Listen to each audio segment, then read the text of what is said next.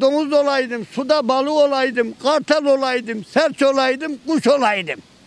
Dinç olaydım, tavşan olaydım da insanoğlu olmayaydım. Bütün Müslüman ülkelerin peygamberi soyuna